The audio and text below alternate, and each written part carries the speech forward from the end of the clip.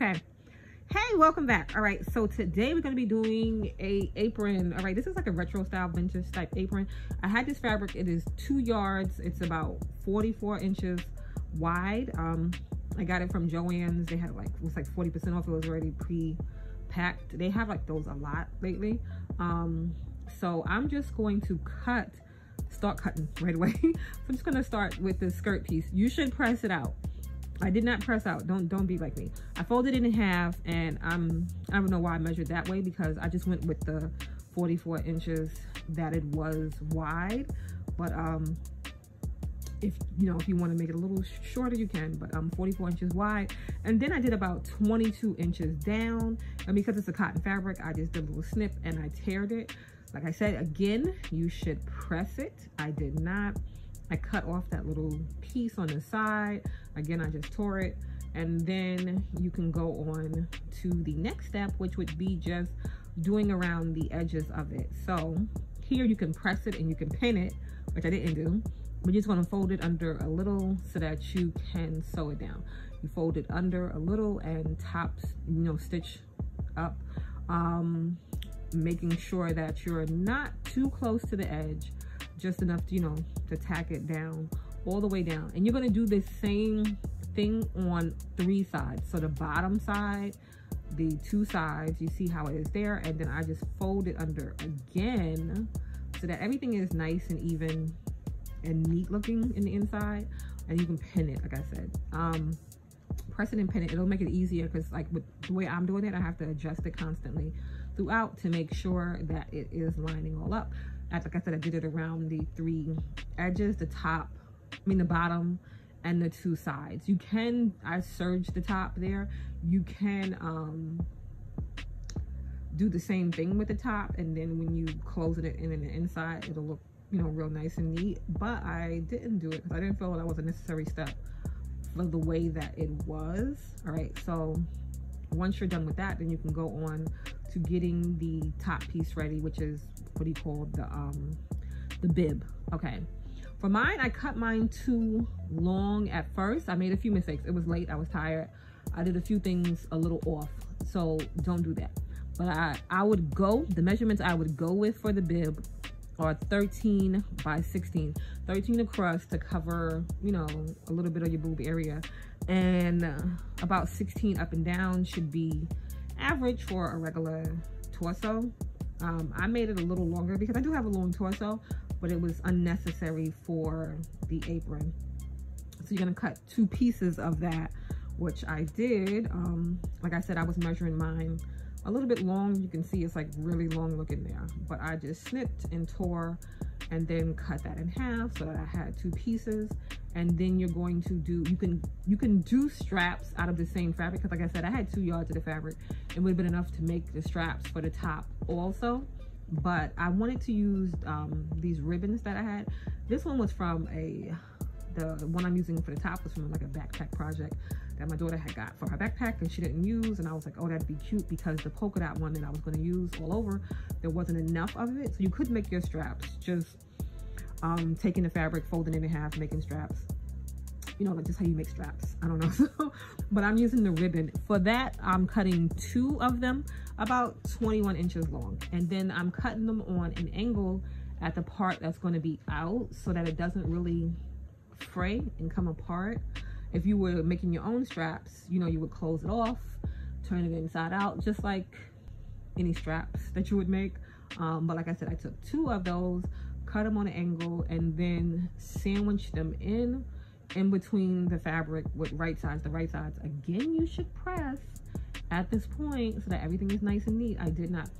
This is where I made another faux pas because like I said, it was late and I was tired for some reason, I don't even know what I was thinking. I went in, instead of just going in for the seam allowance so that these lined up on the edge, I went in two and a half inches, which was weird. I don't know why I did that.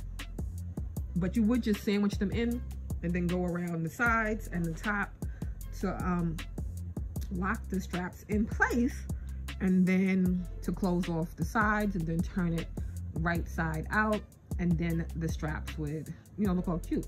But like I said, mine were way too far in, so I had to adjust it later. You could leave them like that, but it's not gonna sit as nice. But you want them, you want them over to the side, you know, whatever makes sense for you. And then I just went back and I top stitched it so everything looks, you know, neat. Again, you should press at that point because I had to adjust mine constantly, but um, just lining up the, the side pieces so that it just kind of looked neater, if that makes sense and going around the two sides and the um, other side. And then you can close off the bottom. I serged mine, but you can just, you know, sew across it, fold it under, however you want to do to make it neat. But see right there is where I had to fix it up. So then now my top is narrower than it would be if I had put the straps on the right way. But I didn't want to take it apart and start all over. So I just, I'm going to tuck those in. And then I just top stitched and um, did it along the bottom so that you know, there was, it lined up right. So when you put it together, you know? All right, so here is where you can just really bring these two pieces together. You can gather in the skirt piece and find the center and line it up with that piece and put them right face to right face and bring it together, you know, center to center. But um, I wanted to first add the pockets. But if you were going to do that, you can just, like I said, do the basting stitch, like, you know, crinkle it up together and then line them all up and sew it together. But I went on to the pocket piece before I did that. Um, I don't really, I don't really think people, I don't know if you use pockets on an apron, but they're cute. So I just made some hand shape size. So I put out my hand and then it just made a mark around my hand spread out. For some reason, at that point, I didn't, um, I didn't record it. I took the camera off. So I just wanted to show you. I fold the fabric in half and then fold it again so I could cut all the four pieces at the same time. I just made the pattern myself by spreading out my hand and then cut it. Again, same way with the top. You're gonna do it right face to right face. Put in the um, ribbon or what if you're using something to contrast it, whatever and stuff, and just pin it all the way around, lining it up along all the edges, and then you'll turn it the right way out.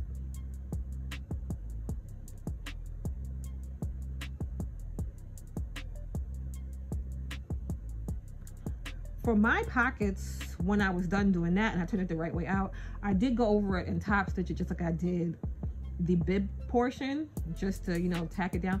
If I would have pressed it they would have been a little neater but so pressing is your friend you should do that. And then you're just going to figure out where you're going to place your pockets when you're done. And then I also close at the top. Same way with the um bib. Once I turned it the right way out I sewed those pieces together folded it down and top stitched that then you're just going to find out where you want your pockets to be and then pin that around and top stitch again to put them i did it around the inside right before the ribbon is where i did it. And then i also brought the gathered the fabric together so that it can have that little ruffly kind of look did the waistband the same way I did the other straps, cut it on an angle, and I cut the waistband about 42 inches, so basically double the size, because I gathered this in until it came to about 21 inches. So I gathered the skirt in from the original 44 inches to about 21 inches, and then just found the center, found the center on the waist ribbon, and lined it up and just top stitched it. Like I said, you could bring the two pieces together, the bib and the skirt, and then just top stitch that way or you can do it this way with them separate. You can also do it this way and then you got a half apron. So if you were doing it as a half apron bang you boom you're done there. But um so you're just going to pin the inside of the other one. So you're just sewing the ribbon on top across the bottom of the skirt and the top of the bib making sure you're lining up all the centers so everything is good. And then this is it when it's done. You see i did two rows on the bottom to line it up and one row across the bib and I closed up the other side and the pockets are on and it's done. So that's it. You have a cute, simple, retro style to me um, little apron. I hope you liked. If you did, please give it a big old thumbs up and I will see you in the next one.